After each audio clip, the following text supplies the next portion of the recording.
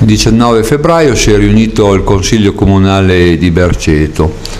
Con i voti favorevoli della sola maggioranza abbiamo inserito all'interno del bilancio comunale di previsione 2016 approvato nel dicembre 2015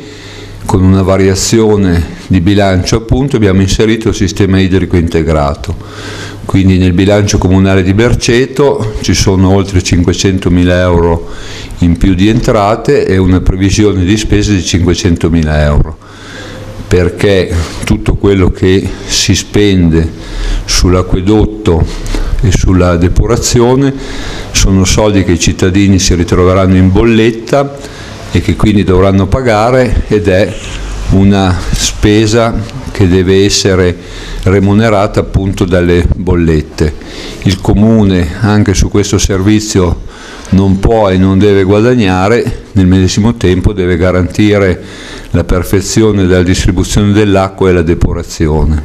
Quindi ci avviamo a passi molto veloci a una gestione interamente comunale di questo servizio idrico, avendo potuto usufruire di una legge che è stata approvata dal Parlamento e dal Senato il 22 di dicembre, che è stata pubblicata sulla Gazzetta Ufficiale il 18 di gennaio e che è diventata operativa il 2 febbraio. Una legge che abbiamo potuto cogliere a differenza di altre amministrazioni comunali perché il comune di Berceto già nel 2014 non faceva più parte della società Montagne 2000 e nel medesimo tempo avevamo anche tenuto nel 2013 un referendum dove oltre l'80% delle persone che erano venute a votare,